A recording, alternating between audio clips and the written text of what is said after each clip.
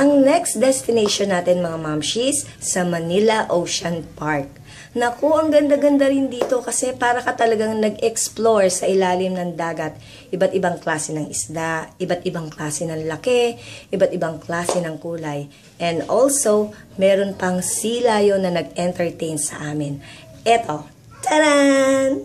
Yan, nandito na tayo sa loob. Wow, ang ganda ng settings. Thank.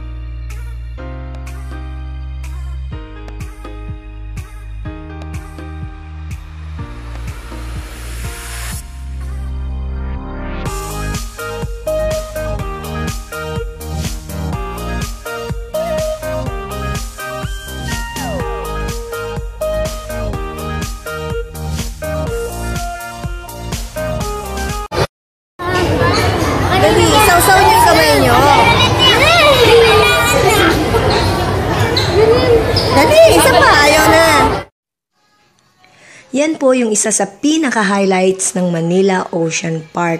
Nakakatuwa panoorin yung mga isda, iba't ibang klase ng laki at kulay. Talagang nakakaaliw silang panoorin.